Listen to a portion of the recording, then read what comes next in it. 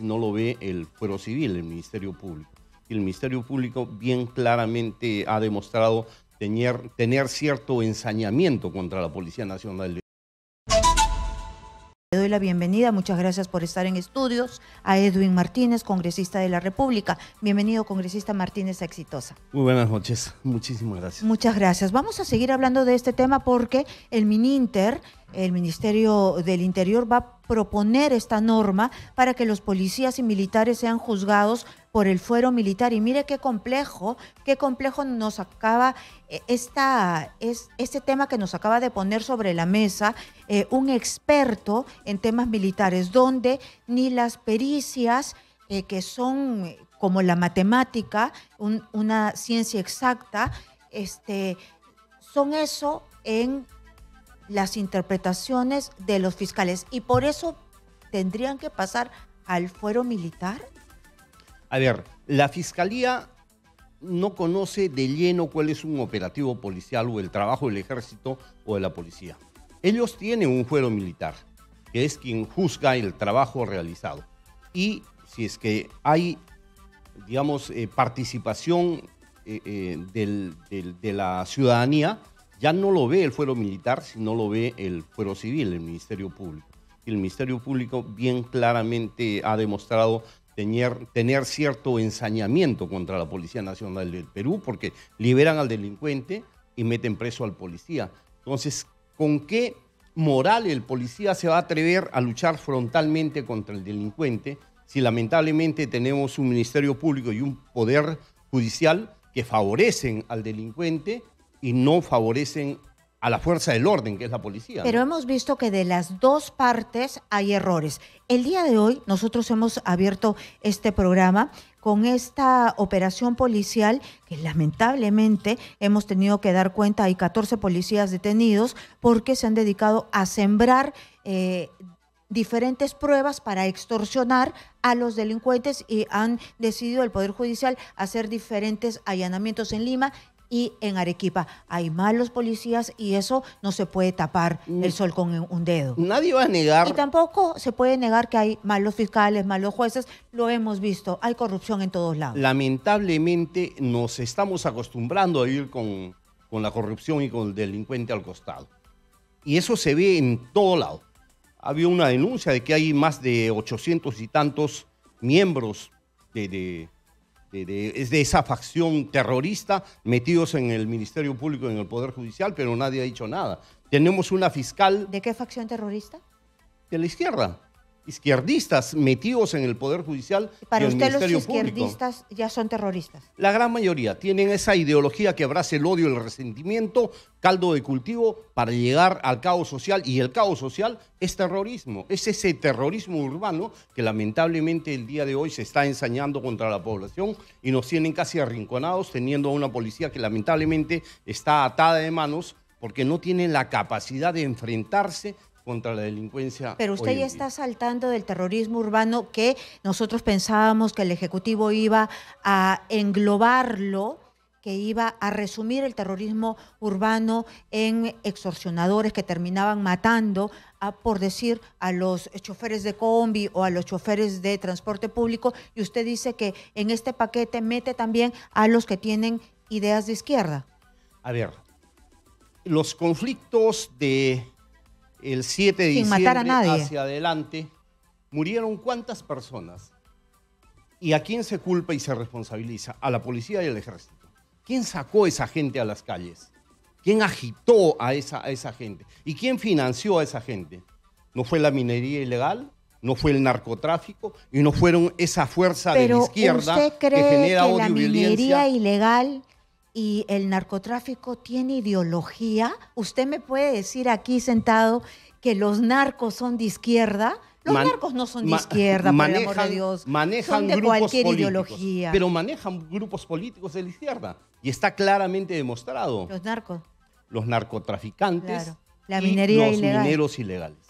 ¿Y usted sabe a quién se le está acusando de ser el representante en el Congreso de la minería ilegal? ¿Es de izquierda? Que dé él la cara y que diga por qué muchas veces dentro de los procesos que él ha defendido, ha defendido a mineros ilegales. Pero la cara visible se le acusa los medios de comunicación han levantado eh, la voz.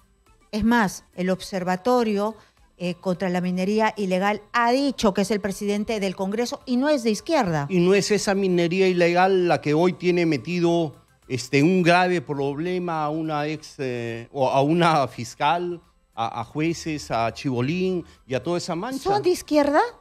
No tienen ideología política. Ellos son personas que les gusta la plata, no le importa ser de izquierda, derecha, utilizan al congresista que se vende y los congresistas que se venden, porque tienen precio los congresistas. No, yo no tengo precio. Yo no le estoy diciendo Yo usted. tengo dignidad. Le pregunto. No, es que tendríamos que ceñirnos a qué congresistas tienen precio. Claro. Porque no toda la prensa tiene precio. No. Hay alguna prensa que también recibe dádivas, como hay algunos médicos que se dedican a hacer praxis eh, prohibidas dentro de nuestra constitución. Pero usted, como hay que médicos está de dentro del Congreso de la República, ¿está dispuesto después de todo lo que ha visto a decir, poner las manos al fuego por todos los congresistas y decir, no agarran plata cochina? No, no, yo no pongo las manos al fuego por nadie excepto por mis hijos, que es lo que, lo que más amo en la vida. Y si estuviesen vivos mis papitos, pondría la mano al fuego por ellos. Por los demás no, pero cada uno tiene que ¿En aprender. el Congreso a- a- corre las economías ilegales o no corren las economías ilegales? Mire, yo soy bien claro en esto y creo que lo he demostrado en el trayecto de, mi participación en el, en el legislativo y he dicho claramente que aquí se manejan ciertas mafias que son las que tienen ese poder político, ese poder económico, que lamentablemente hoy están destruyendo el país. Un Congreso que ya no, ya no legisla para la población, sino legisla para sus propios intereses de ciertos grupos políticos e ideológicos, porque de pronto se ha juntado la derecha con la izquierda, han hecho un mestizaje político solamente por conveniencia propia. ¿Y Una eso presidenta que ¿Tendrá precio? yo creo que va a tener un precio que va a ser el repudio de la gente, porque muchos de ellos no se atreven a salir a la calle, negocian ahí metidos en sus oficinas o en las oficinas de los partidos políticos y no pueden encarar a la población porque cada uno sabe lo que está haciendo en contra del país. Pero lo que yo creo leer entre líneas de lo que usted me dice, que para usted la izquierda es una ideología que ya básicamente tiene ideas muertas, que no saca adelante, que no sacaría adelante a este país. No, definitivamente. La izquierda es una política mediocre, sucia, llena de odio, de resentimiento, que genera caos, violencia, sangre y lo único que quiere es tener al pueblo pobre, porque de eso viven ellos, teniendo al- ese colchón de votos que les permita continuar y continuar en el poder. Claramente lo, vemos hoy a Evo Morales este, alimentando marchas para que saquen al actual presidente, porque él quiere ser de siempre el caudillo. Y el izquierdista es así, es un triste y lamentable caudillo que genera pobreza en sus países.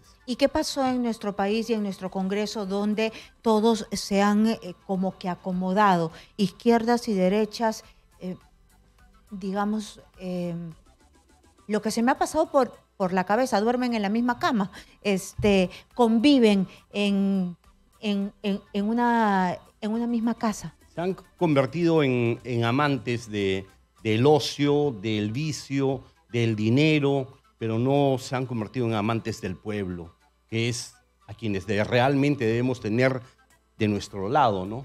Y yo vuelvo a repetir, este, sí repudio ese, ese accionar de muchas bancadas dentro de- del, Congreso de la República. Entonces, usted sí está de acuerdo, por lo que me acaba de decir, así que le pongo check, sí está de acuerdo con que eh, se expida una norma para que los policías y militares denunciados por hacer uso legítimo de sus armas de fuego puedan ser juzgados por el fuero militar y no en el civil.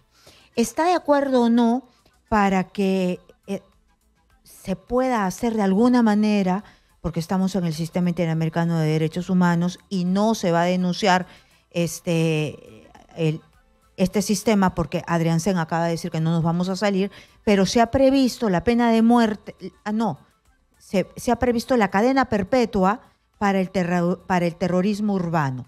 ¿Está de acuerdo No, Cadena yo- perpetua. No, yo considero que debe haber pena de muerte. Pero no podemos. pero porque son blandengues, porque tienen esa ideología de los derechos humanos que lamentablemente velan los derechos humanos del delincuente, pero no los verdaderos derechos humanos de la gente que hoy quiere tranquilidad, paz pública, seguridad. Ya nadie puede andar por las calles libremente. ¿Por qué? Porque te meten un balazo, porque siete soles vale tu vida. Te cobran un cupo por siete soles y no pagas, ¡plac! te mandan un balazo. Esos derechos humanos son los que nos atan para poder eliminar a este tipo de, de seres humanos que solamente nos están generando violencia? Yo creo que no, de verdad. Tenemos a un Adriancén blandengue que, que- que no demuestra una línea y una conducta de lucha frontal contra el delincuente porque algo ocultan. Y ese ocultamiento se ve en, hasta el momento, no entregar a Cerrón. Por eso es que tienen miedo de muchas cosas. ¿no? Entonces, para usted hay que salirnos del sistema interamericano de Sí, derechos humanos. 100% de acuerdo. Y a los presos de este tipo de calañas, sicarios, extorsionadores, que reabran el frontón y los manden ahí. Y pena de muerte. Los Pena muerte. irrecuperables, balazo. No queda otra. Es una guerra. O viven los sicarios, los delincuentes, o vive el ciudadano común y corriente que todos los días se saca la mugre para poder alimentar a su familia.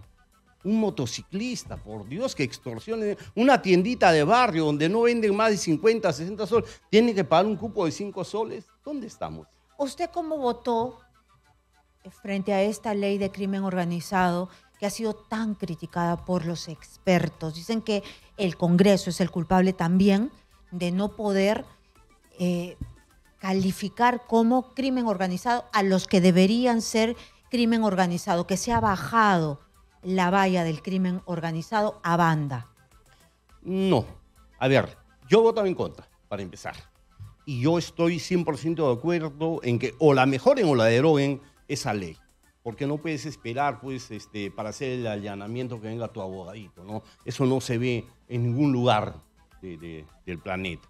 No sé de dónde sacaron esta ley.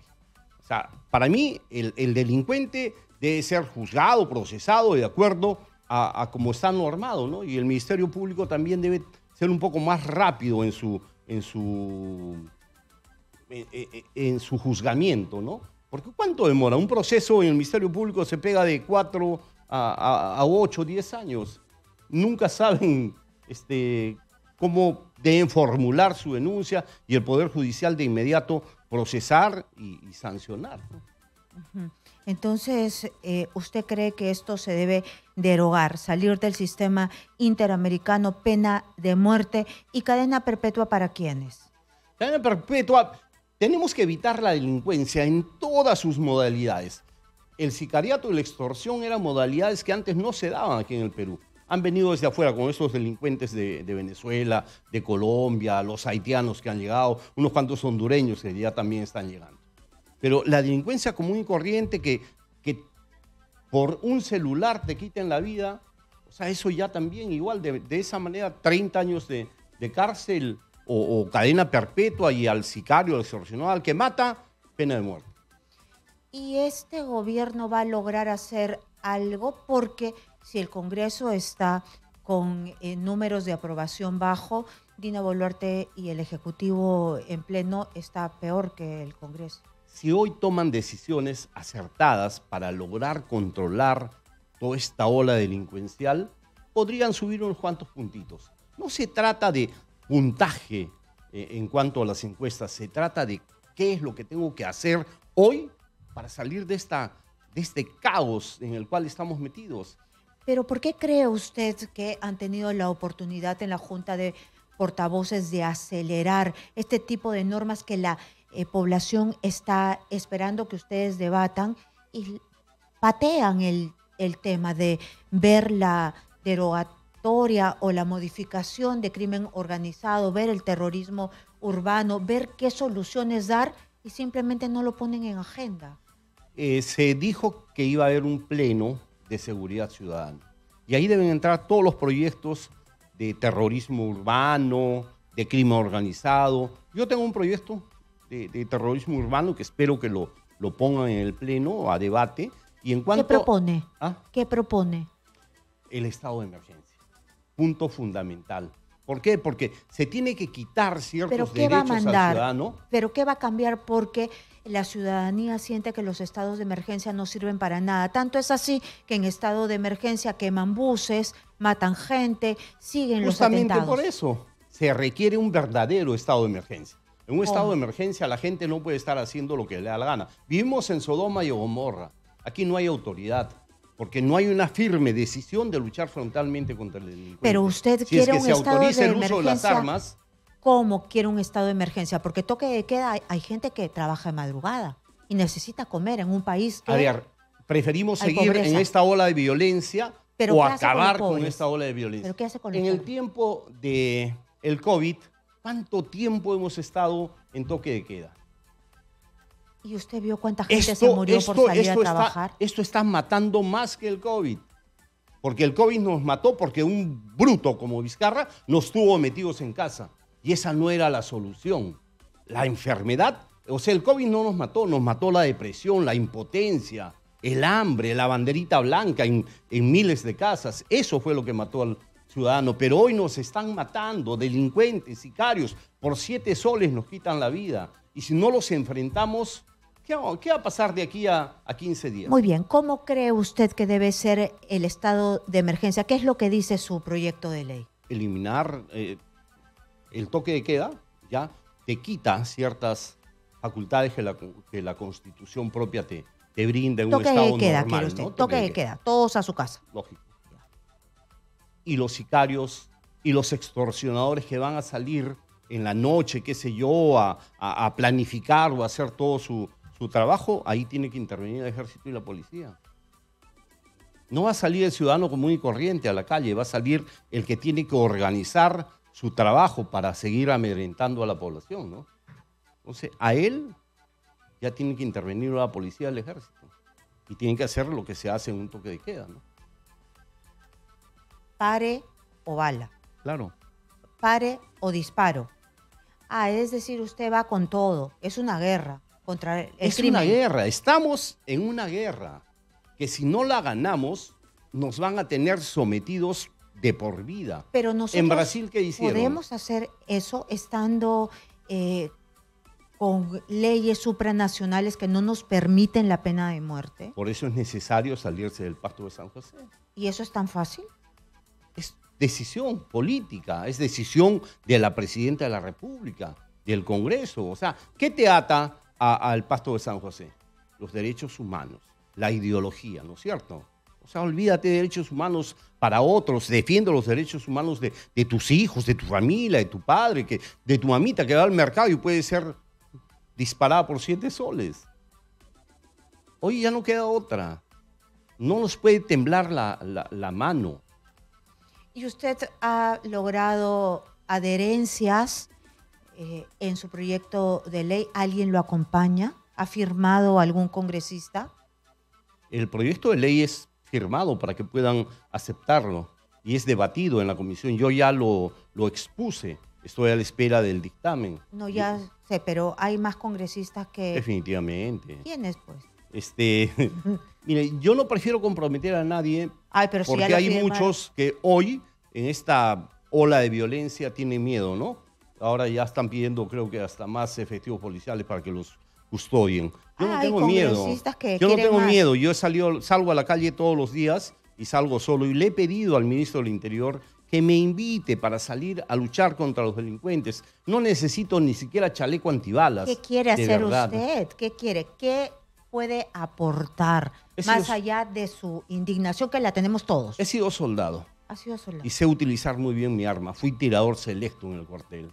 De verdad, si yo tengo que matar para defender la vida de mi familia, que considero mi familia también a cualquier persona humilde por la calle, yo lo hago. Yo tengo miedo, tengo una hijita a la que adoro y, y ella tiene miedo de salir a la calle. Y nos están acobardando a todos y no podemos seguir así.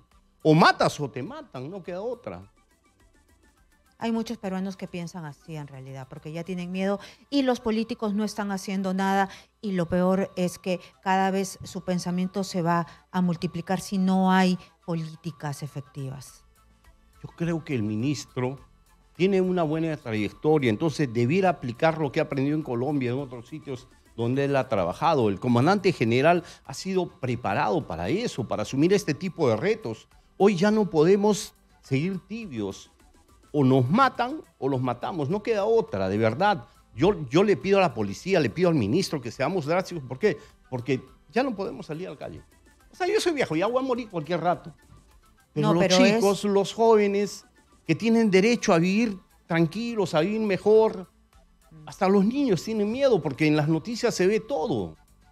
Es, es, es bastante complejo que un congresista en televisión, en Radio Nacional, en cadena nacional, diga que o matamos o nos matan. Tengo una pregunta más, me tengo que ir a una pausa comercial y quiero regresar para que usted me responda, porque empezó hablándome de los extranjeros. ¿Qué debemos hacer con los extranjeros? Votarlos. ayer han hablado ustedes. Votarlos, ya no queda otra. Votarlos. Son abusivos, espérese, son Espérese, por favor, un ratito. Regresamos con Edwin Martínez, congresista, que me acaba de decir que con los extranjeros hay que votarlos.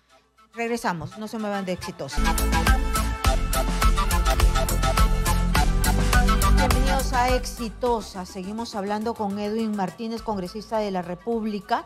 Yo le hacía una pregunta, se la vuelvo a hacer, porque el día de ayer han estado en la comisión, eh, en la comisión de defensa y han aprobado un dictamen para la expulsión de extranjeros que no se identifiquen. Y justamente por eso era mi pregunta, ¿qué debemos hacer con los extranjeros? Ya hay ciertas normas, hacer cumplir las normas. O sea, que ya no seamos tan ingenuos de que, bueno, pues este, después va a regularizar su PPT, su, DNI, no, si no tienen la documentación adecuada, hay que expulsarlos. Ellos han hecho muchísimo daño al Perú y hoy le siguen haciendo daño. ¿Quiénes extorsionan? Colombianos y venezolanos. ¿Quiénes son los sicarios? La gran mayoría colombianos y venezolanos. ¿Quiénes han abarrotado las calles no es bueno hablar de una dama, pero la prostitución que ha acrecentado un montón con la gente que ha venido de afuera. Nos estamos llenando de lacra, lacra social que le está haciendo muchísimo daño a un país ya debilitado moralmente, porque venimos... Sí, pero no todos son así, ¿no? No Coincidirá conmigo, ¿no? Porque nosotros en los 80, 90 también fuimos migrantes. No todos, pero lamentablemente en un estado como este, yo creo que justos pagan por pecadores. Pero yo estoy de acuerdo con algo. Si es que hay reglas, hay que, que se respeten, solo que se respeten. Y con eso ya va a salir un montón, porque el, bueno, el que ha venido a trabajar, tiene reglas su, documentación. Entonces, que no se den las reglas. ¿Dónde están las reglas? Se dieron reglas, plazos y no se están no se Cumplen, no se cumplen. No se cumplen porque la policía pone a disposición y los que tienen que evaluar no lo hacen. Migraciones está, como le dije yo ayer al, al canciller, ¿no? O sea, están, están de adorno. Nuestra frontera están, es una coladera. En los camiones, en los trailers, pasan ahí los, los venezolanos. Van a donde quieren, porque ellos tienen ese, ese ritmo de vida, ¿no? Ellos están acostumbrados a eso. Están violentando nuestro país, lamentablemente.